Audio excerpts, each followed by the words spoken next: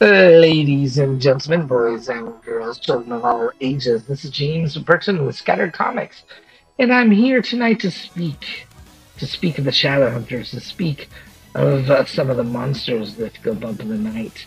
I am here to speak of the Kill Jessica Kill, which is a grindhouse style supernatural horror. Right now, with hot chicks killing monsters over on Indiegogo. It's going to be there for about a month. It started today on the 23rd. And today I got to spend my afternoon with Jason Dube.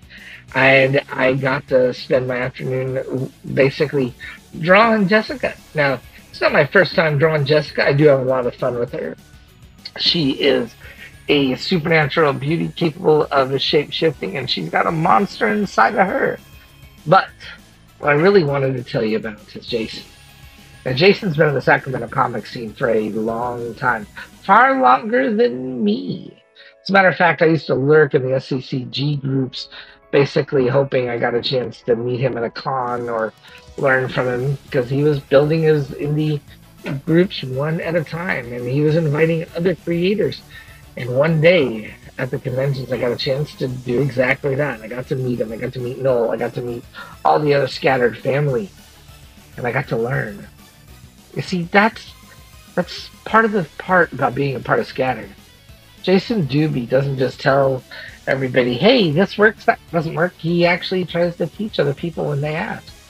He's got a heart of gold. He has made sure to get other people who don't have a lot of uh, a lot of flack. They get invited into the cons. They get treated like the creators that they are. They get treated with respect. And a big part of that is Jason. He is the kind of guy who wants to float all the boats and bring all the indie creators in Sacramento along with him. And he's just that good of a guy. And in my opinion, he doesn't get enough credit for it. And so everybody out there today, right now, maybe tomorrow, who knows? But Indiegogo's got Kill Jessica Kill rolling out right at the moment. Hot chicks fighting monsters, werewolves, and all kinds of craziness. And it's going to be out there for about a month. So if you enjoy that kind of grindhouse action, let's get your booty on over there to Indiegogo and check it on out. And if you enjoy that type of book, if you enjoy campiness, sarcasm, and, uh, well, explosions, check out Damage Inc. It's on Kickstarter all the way until March 7th. And I definitely think you should check them both.